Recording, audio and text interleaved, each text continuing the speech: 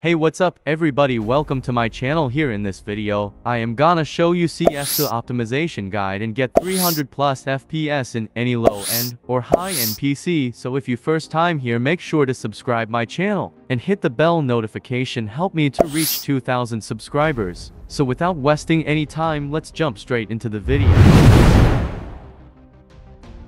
First of all you need to simply download this pack link available in description box. When you open up the link from description you will automatically dive into my website here is same article and same thumbnail of video. Simply click on this article and click on this download button. After click on this download button you will reach on this page and click on this subscribe button. When you subscribe my YouTube channel the link is automatically unlocked and you can easily download this pack from here.